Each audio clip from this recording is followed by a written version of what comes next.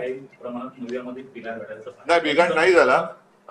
आज आम्ही आज आम्ही त्याच्याबद्दल जो काही थोडस काय होतं एक साहजिक आहे. ही गोष्ट खरी आहे.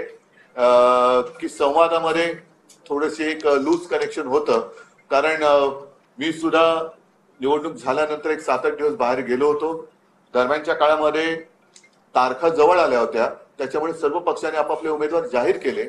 आज आम्ही कोकण आणि नाशिकच्या बाबतीत जसं दिल्लीतल्या काँग्रेस श्रेष्ठींनी फोन करून मलाही सांगितलं संजय राऊतनं सांगितलं त्याच्यामुळे तो एक समजोता आम्ही करतोय. थोड्या वेळात तुम्हाला तो कळेल. हो.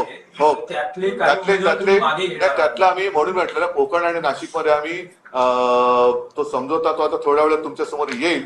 परंतु एक पुन्हा सांगतो की निवडणूक झाल्या झाल्या मी इथे नव्हतो. निवडणुकीचे अर्ज भरण्याची वेळ ही टळू नये.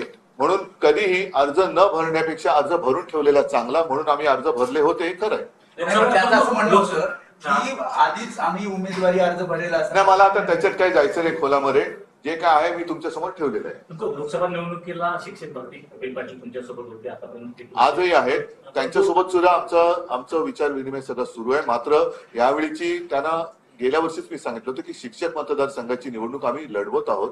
परंतु याच्यापुढे जाऊन जो का आमचा एक अं, मनोमिलाप असेल किंवा समझौता असेल तो आम्ही प्रामाणिकपणाने पार पाडू. उधर जिसके अलावा जम्मू कश्मीर में पिछले तीन दिन में तीन बड़े आतंकी हमले हुए हैं. अभी भी सर्च चल रहा है घटनाएँ रुक नहीं रही लोगों की जाने गई। किसकी ज़िम्मेदारी है?